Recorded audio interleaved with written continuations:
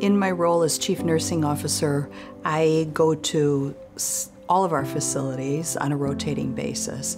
So for the most part, I don't know the patients who are in our care because I'm not there on it all the time. Um, not too long ago at one of our facilities, someone patient who had been there came to me, thanked me, first of all, asking who I was because I was a stranger. I pointed out I was the chief nursing officer responsible for nursing services, and she let me know that um, these were the best nurses that she had ever encountered.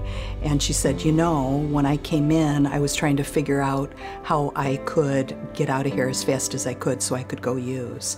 And now I'm crying because today is the last day I'm having my award ceremony, my pinning ceremony, and I really don't want to leave. So thank you for not giving up on me.